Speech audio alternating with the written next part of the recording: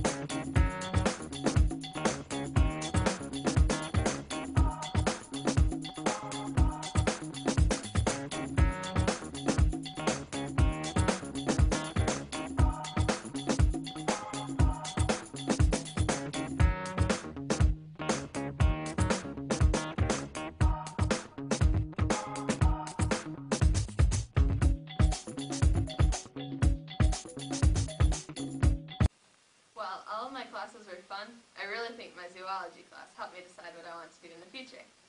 I'd wanted to be a vet, a vet for pretty much my whole life, but after taking this class, I changed my directions a little bit.